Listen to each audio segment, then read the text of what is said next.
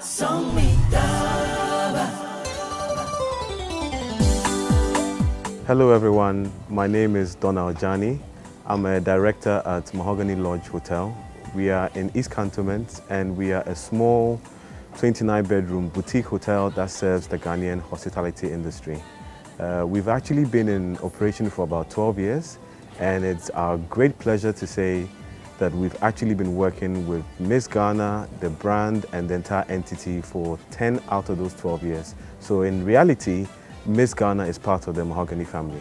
It's been a tremendous blessing and fortunate to work with all the different young ladies, the managers and everyone involved in the brand over the years.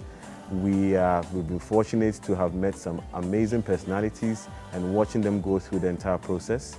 We wish you all the best in the process, but we want you to concentrate on giving it your all and most of all having fun because participating is the most important part and look at this as a platform where you are launching yourself into the world at large and how you are going to impact on every aspect of you know, our lives in Ghana. Thank you again and we wish you all the best going forward.